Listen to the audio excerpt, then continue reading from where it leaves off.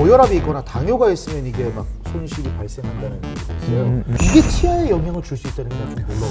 잇몸이 약해져가지고 병원을 찾는 경우가 굉장히 많은데 우리나라가 의료보험 제도가 너무 잘 돼 있어요. 정말 서- 의료 선진국입니다.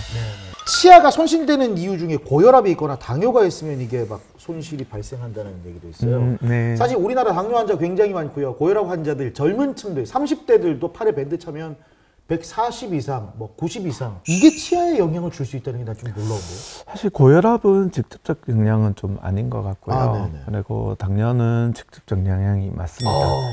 예, 면역 체계를 약화시키기 때문에 예, 예. 외부 저항에 어, 방어력이 약해지는 게 당뇨병 증상이거든요. 예. 모세 혈관, 그러니까 말단에 있는 혈관들이 어, 피가 잘 안 통하게 해서 네네. 점점 더 기능을 약화시키는 게 음. 당뇨병이에요. 네네. 그래서 어, 치아도 말단에 있기 때문에 그런 혈류의 공급이 약해지고 네. 또 외부 저항에 이제 취약하다 보니까 음. 영향이 있습니다.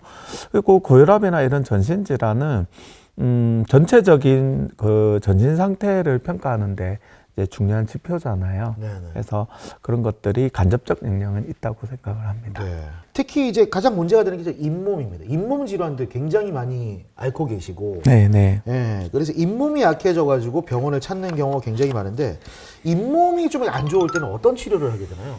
이제 몸 치료를 하기 위해서는 우리나라가 의료보험 제도가 너무 잘 돼 있어요. 정말 서- 의료 선진국입니다. 네, 그래서 1년에 어, 스케일링이 6개월에 보험이 되거든요. 네, 네. 아주 저렴하게 치과에 가서 전 국민이 되는 그 혜택이니까 그거를 이제 받으시면 제일 좋고 네, 네.